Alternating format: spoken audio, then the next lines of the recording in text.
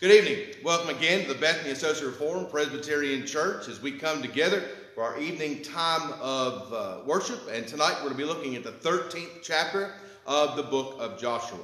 Now, when we've come to these uh, long chapters in the book of Joshua uh, that have uh, you know a long section for us, it's been our practice not to read all the way through all 33 verses, but to take it section by section, and that's exactly what we'll do tonight. But before we uh, get to the word, let's go ahead and go to the Lord in prayer. Gracious Heavenly Father, you have guided us again this evening into your word. And we pray through the power of your Holy Spirit that you will continue to strengthen us through the teaching of Holy Scripture, that we uh, might again learn more about what it means to be a believer in the Lord Jesus Christ, in whose name we pray. Amen. Well, if you're turning with me there in your copies of God's Word to the 13th chapter of Joshua, we're going to be reading the first of 14 verses as we open uh, here in the Old Testament. Again, so we're going to start there, Joshua chapter 13, beginning at verse 1. Now Joshua was old, advanced in years, and the Lord said to him, You are old, advanced in years, and there remains very much land yet to be possessed. This is the land that yet remains. All the territory of the Philistines and all that of the Geshurites from Sihor, which is east of Egypt, as far as the border of Ekron, northward, which is counted as Canaanite. The five lords of the Philistines, the Gazites, the Ashdodites, the Ashkelonites, the Gittites, the Ekronites, also the Avites from the south, all the land of the Canaanites and Mearah that belongs to the Sidonians, as far as Aphek, to the border of the Amorites, the land of the Gebalites, and all Lebanon toward the sunrise, from Baal Gad below Mount Hermon, as far as the entrance to Hamath, all the inhabitants in the mountains from Lebanon, as far as the brook Misrephoth, and all the Sidonians. Them I will drive out before the children of Israel, only divided by lot to Israel as an inheritance, as I have commanded you. Now therefore divide this land as inheritance for the nine tribes and half the tribe of Manasseh.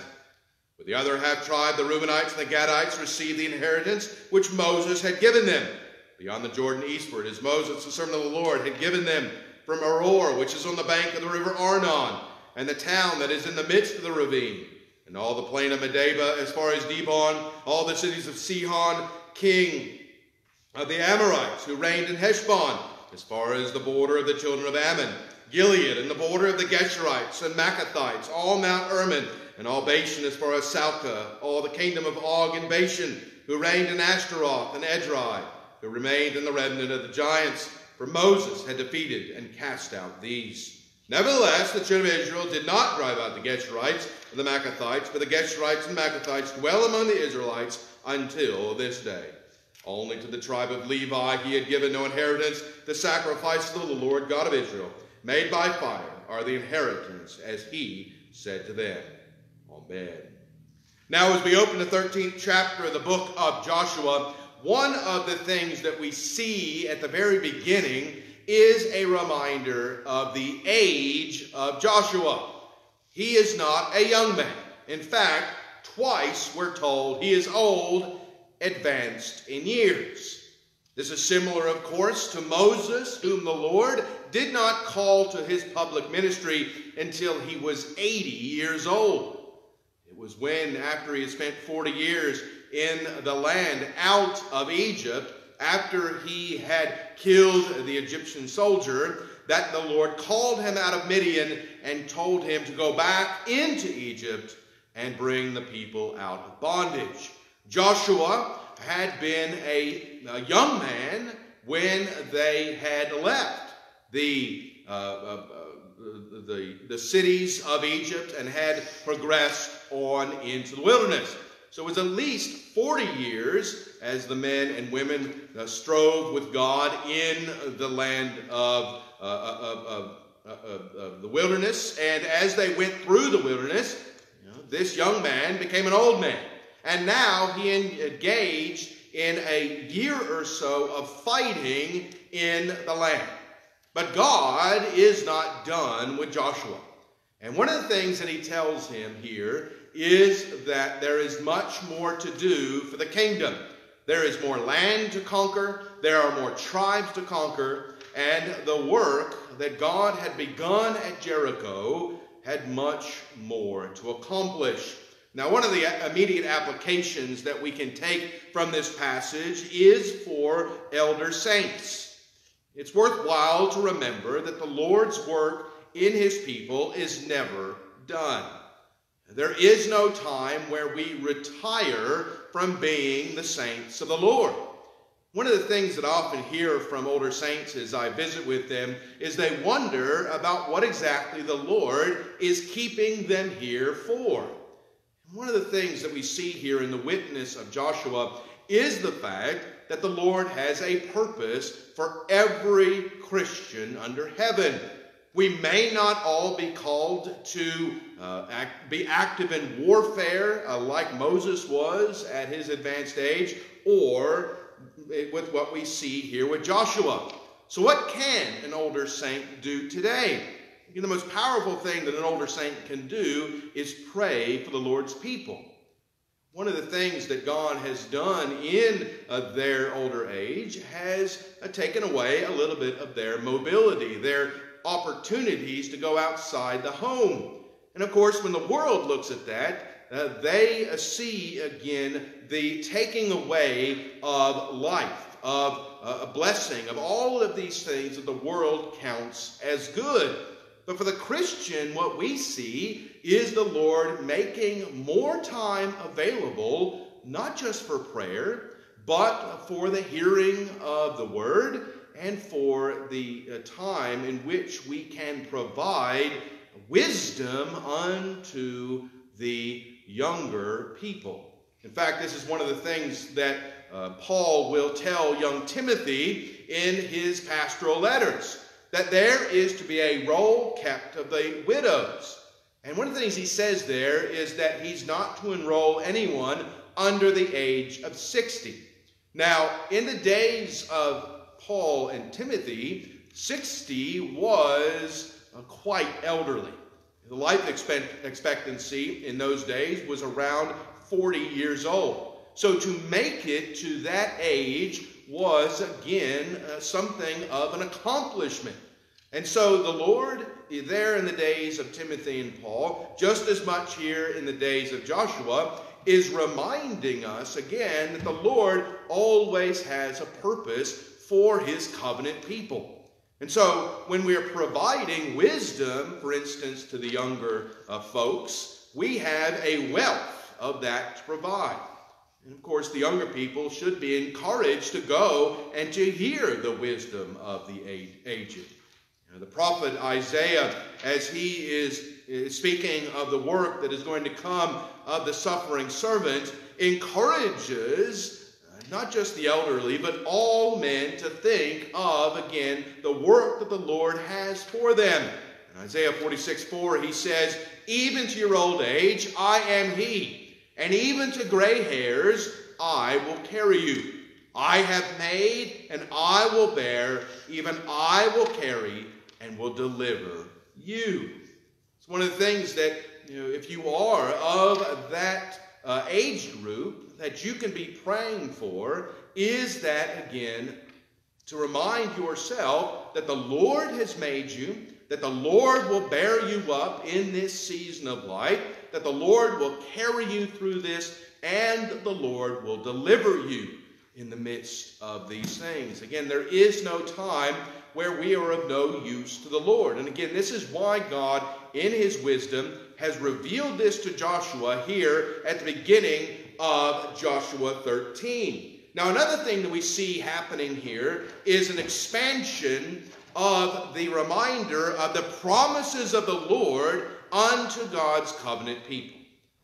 Many, many years before this, while the people of God were in the land of, uh, of, of the wilderness, God had made promises unto his people about where they would be in the days after the conquest. The borders of the tribes had already been established by the Lord. And here we see God in his mercy reminding the people that though there was still much to do, that the Lord had not forgotten his promise to Israel. That the land had been promised to the nine tribes and a half of Manasseh, would come to pass. They would receive these things. Again, sometimes in the Christian life, we can come to a point where we wonder whether it's all worth it. Whether everything that we've been through, everything that we've dealt with, is it worth the blessings that are to come, especially if we're not experiencing those blessings at the moment? The Apostle Paul, as he writes in the book of Hebrews, reminds us in Hebrews 10:23, let us hold fast the confession of our hope without wavering, for he who promised is faithful. And this is the exact picture that the Lord is painting for his covenant people as they continue to battle against the tribes in the land.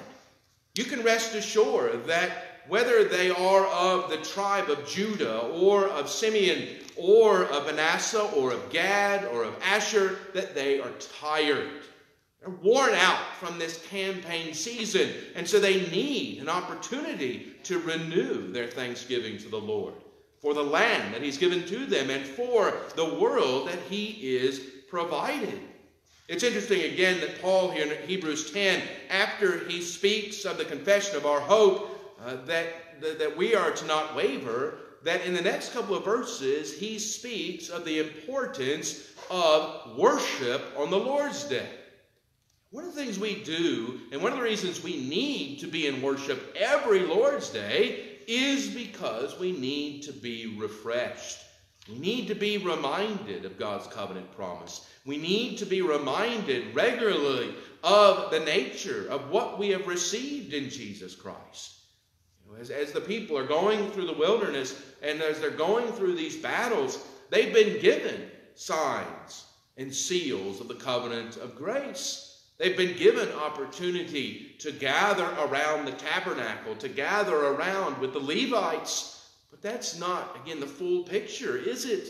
It would still be many years until a permanent temple would be made for the, uh, for the place of God's resting.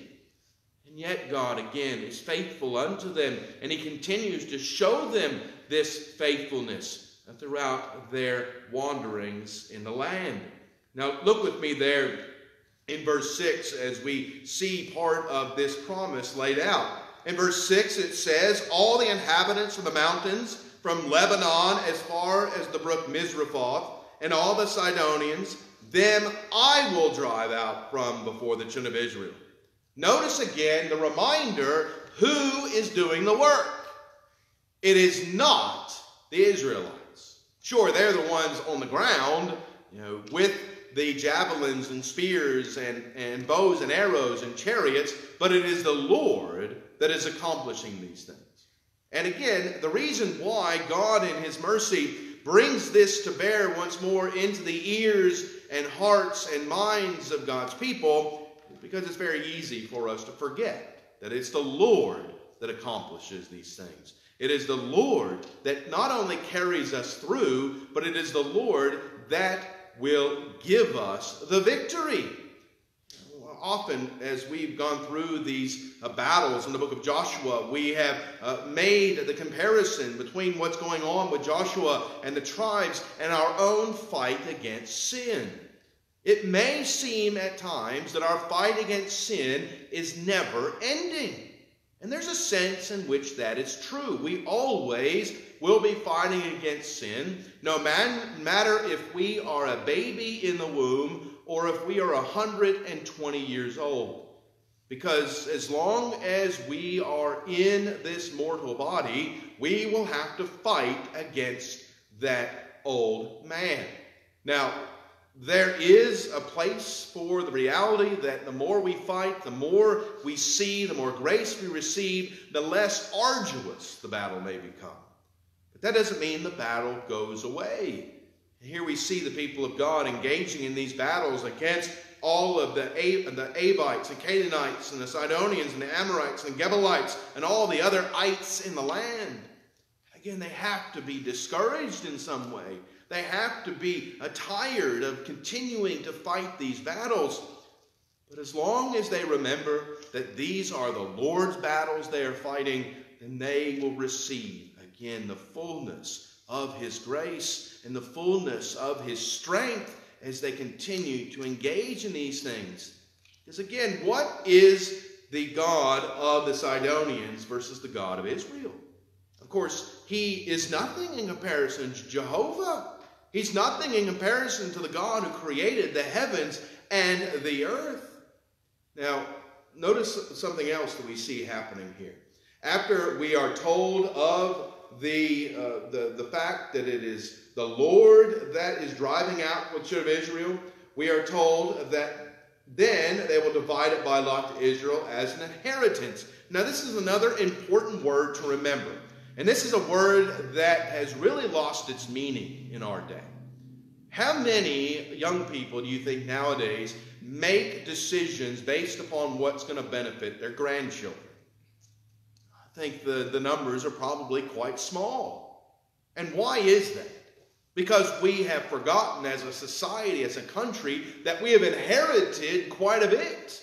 And then it's our responsibility to nurture and care for that inheritance so that it's available to pass on to our children and grandchildren and great grandchildren.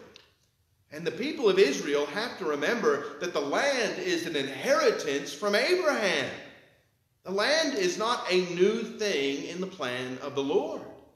Remember, it was the land that God had promised to Abram as he called him out of Ur of the Chaldees. And as God has called him out of Ur of the Chaldees and given him the land, the promise has been to God's people while they were in Egypt and throughout the wilderness and through these days and the days of Joshua that they are receiving what God has already promised to his people. And that's again why it's so vital for the church today to remind not only the aged, but the young and all in between that they have a great responsibility to make sure that the children are raised up in the fear and admonition of the Lord. That they are reminded of God's covenant promises that were made to Abraham, that they apply to them, and that they, again, will have that responsibility when they grow up to teach that to their children. This is the great covenantal blessing. It's one of the reasons why we baptize infants, because we believe again that they are inheritors of the promises made to Abraham because they are members of the covenant family.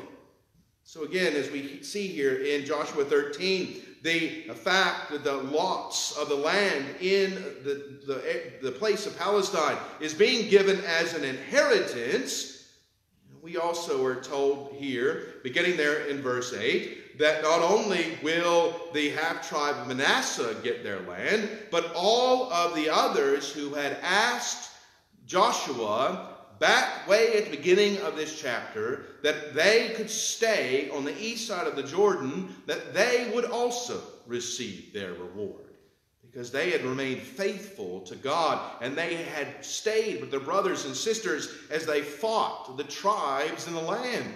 And because of their faithfulness, God was going to keep his promise to them.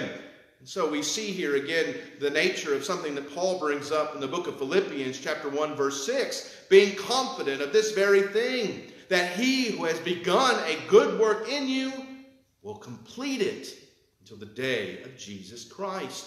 And that's one of the great comforts and assurances we have as believers. Just as the tribes of Israel in these days had the assurance of God's promise that they would receive the land that God had set aside for them, we have the assurance that the eternal land of promise, the heavenly places where the Lord Jesus Christ dwells, will be our home for eternity. Again, why are we confident of this very thing?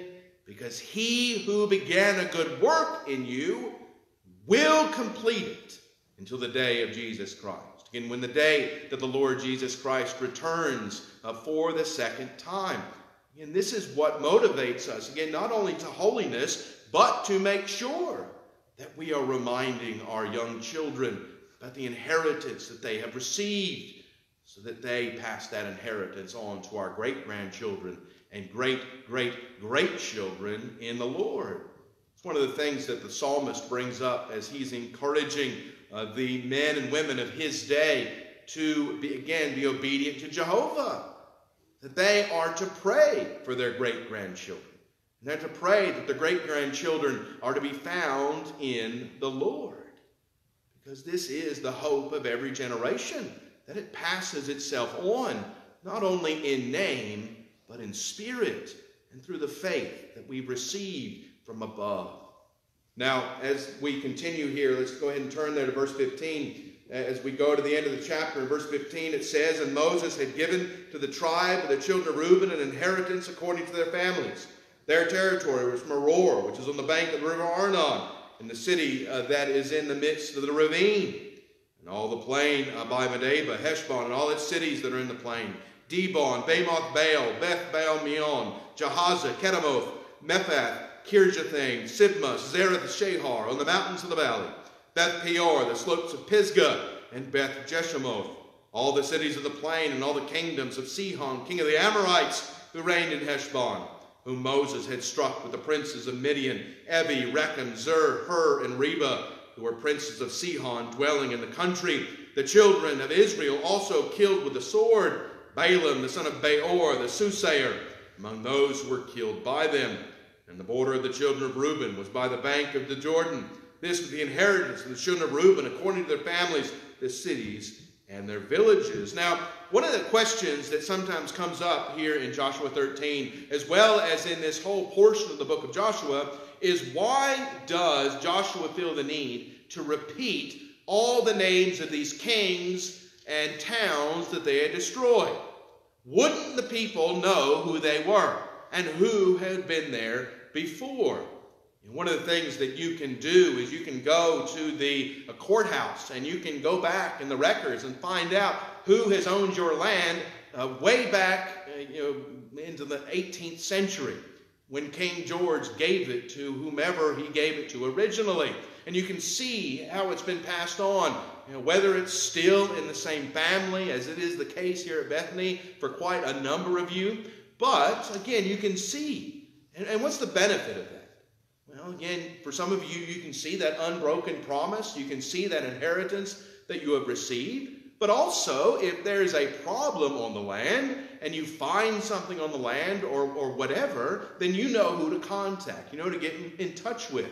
Well, one of the reasons why this is repeated is that the people of God need to remember the victories that the Lord has given to them.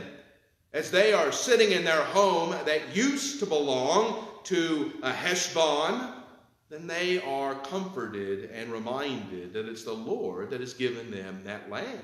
It's the Lord that has provided them that place of refuge, that place in which they can have peace.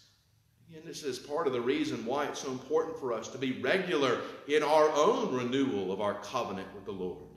You know, why we are to be constant in our remembrance of our thanksgivings unto God's goodness to us we think when we come to the Lord's table, that's one of the things that we're doing at the table. We're not just renewing the covenant with the Lord, but we are remembering his sacrifice on our behalf. In many ways, we are transported to Golgotha when we come to the table. And we think upon not only the pain and anguish of the Lord, of course, we're reminded of the love of the Lord our God as we eat his flesh and drink his blood, and we are refreshed in his grace. So, again, as he is writing all these things, we see there in verse uh, 24 Moses also had given an inheritance to the tribe of Gad, to the children of Gad, according to their families. Their territory was Jazer and all the cities of Gilead, and half the land of the Ammonites as far as Aroer, which is before Rabbah, and from Heshbon to Ramath Mizpah, and Betonim, and from Mahanaim to the border of Debir in the valley of Beth Haram, Beth Nimrah, Succoth, and Zaphon, the rest of the kingdom of Sihon, king of Heshbon, with the Jordan at its border, as far as the edge of the Sea of Chinneroth, on the other side of the Jordan eastward. This is the inheritance of the children of Gad, according to their families, the cities, and their villages. Moses also had given inheritance to the half tribe of Manasseh. It was for half the tribe of the children of Manasseh, according to the families. Their territories from Mahanaim, all Bashan, all the kingdom of Og, king of Bashan, and all the towns of Jair, which are in Bashan, sixty cities. Half of Gilead and Ashtaroth and Edrei, cities of the kingdom of Og and Bashan, were for the children of Machir, the son of Manasseh, for half the children of Machir, according to their families. These are the areas which Moses had distributed as an inheritance in the plains of Moab on the other side of the Jordan by Jericho eastward. The tribe of Levi Moses had given no inheritance. The Lord God of Israel was their inheritance, as he has said to them. Amen. Here we close in chapter 13 with a second time being told about the lack of inheritance of Levi. Now, Levi, of course, was set aside by Jehovah to be the priests of the land. And every tribe was called to give a tenth of their annual gross to the Levites for their maintenance, so that they had somewhere to live, they had food, and they were provided for. Because the Levites and the priests have been given a unique responsibility amongst all the tribes. And that was to be the mediator between God and man. They were to oversee the worship of the Lord, they were to take care of the sacrifices, and they were to teach the people of the blessings of God. Again, it's important to see here why it is God has not given them a land in which to dwell. Because their inheritance is, as it says here, from the Lord. The Lord has provided for them.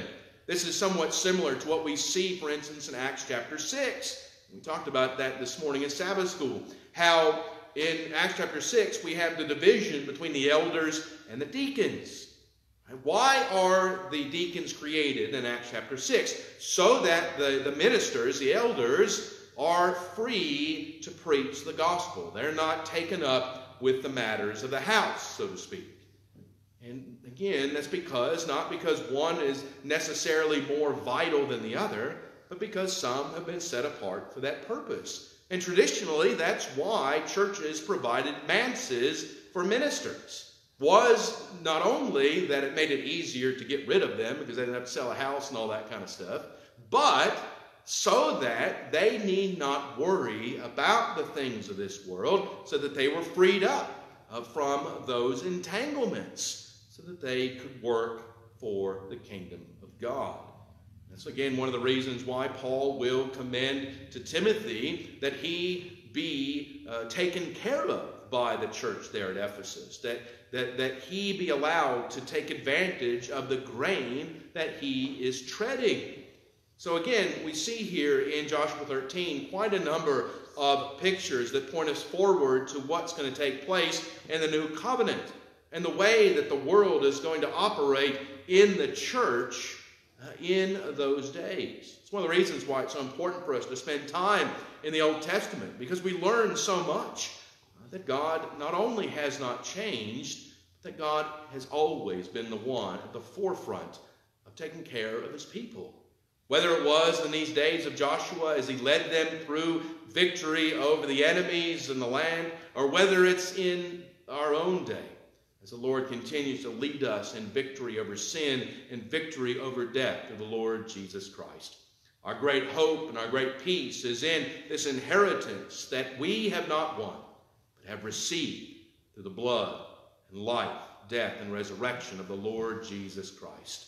And let us uh, hear from uh, David in 1 Kings 8.56, or Solomon from 1 Kings 8.56, Blessed be the Lord who has given rest to his people Israel according to all that he promised. There has not failed one word of all his good promise, which he promised through his servant Moses. Again, we know that to be true because of what we have seen the Lord do from generation to generation. He has been faithful to his promise, and he will be faithful forever and ever because he is the Lord our God. Amen. Let us pray. Gracious Heavenly Father, we give thanks again for the time you've given to us to study your word and think through these uh, uh, uh, pictures and images and historical realities that our forefathers in the faith went through as they uh, gathered the land to themselves. You have set aside again this blessing unto your people that we might receive again once more a remembrance of the inheritance won by the Lord Jesus Christ, in whose name we pray. Amen.